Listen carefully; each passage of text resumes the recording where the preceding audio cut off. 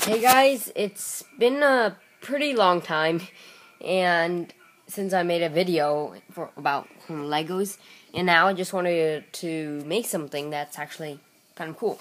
So, first, these three blades, or dagger, dagger, and this is a sword, three foot, three foot long sword. It's, it's pretty cool.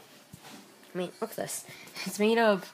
Okay, so first, I got these ideas from the. I think it was called Heroes of Olympus series, I think. And so, yeah, it's pretty cool. I tried to make a longer, I guess, Stygian iron blade, like a three foot one, which is what's what Nico di Angelo was supposed to have.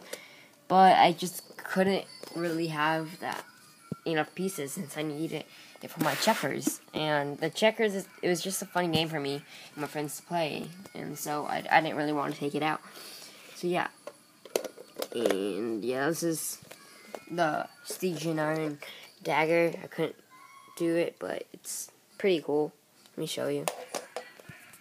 Okay, so like that. It's actually pretty strong. It doesn't break really easily unless you slam it. So yeah.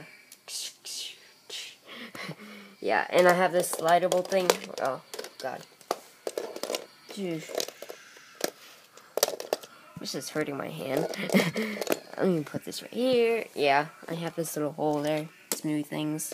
Slide it in. All that stuff. All that fun stuff. Okay, so let's do the other normal metal dagger. Kind of small for the hand it's most likely gonna be used for like my cousin or something, and he's just gonna use it and whack people. So I thought that that would be pretty funny, and, and when he does use it, just yeah, kind of big, well, a little small for my hand. I have this little thing right here. Put it back in.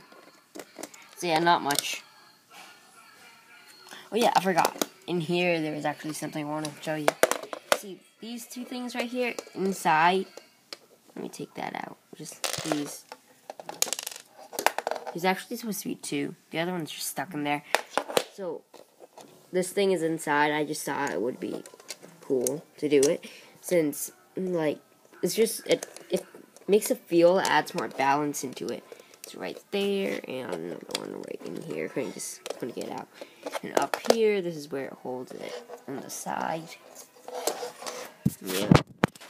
It's actually a pretty cool concept how I did it. So, yeah. This one doesn't have anything. Okay, so now this one.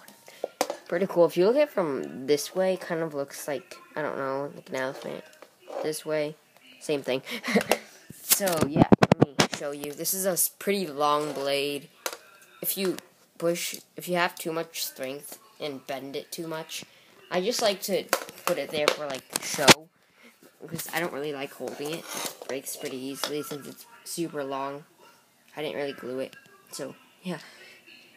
And a lot of people have been saying, like my friends, they say that my voice got deeper. Sadly, I didn't really want it. It's a good co commentating voice, but I don't do co commentating that much. So yeah. Woo! Super long blade. I got that. Yeah, smooth stuff. So yeah, this is pretty much all. I mean, Imperial Gold, normal metal, yeah. So, I guess that's it for this video. See you guys later, and goodbye.